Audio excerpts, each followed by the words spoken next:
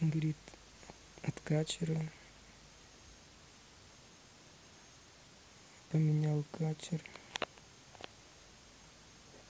Катушку раньше была. Вот и теперь это. Частота качера теперь где-то 900 килогерц. Без вот этого феррита было 1,1 мегагерц. Так что с этим ферритом можно частоту понижать.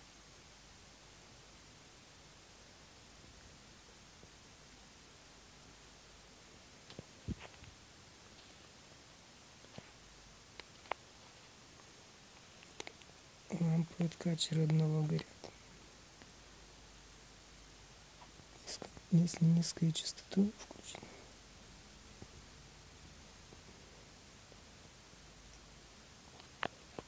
Земление от лампы горят от качера и без, без заземления.